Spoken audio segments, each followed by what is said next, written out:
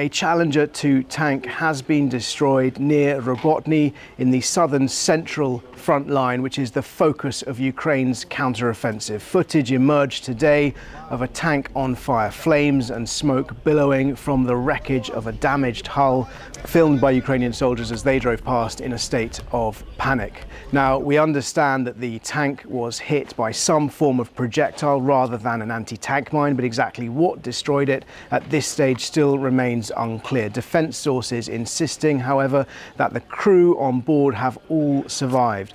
It's significant because it is the first time that we've seen these Challenger 2 tanks in action in Ukraine, and it's also significant because this is the first time in the history of the Challenger 2 that it has been destroyed in battle by enemy fire. The only other time was in the Iraq War in 2003 when a British Challenger was hit by a second Challenger in a friendly fire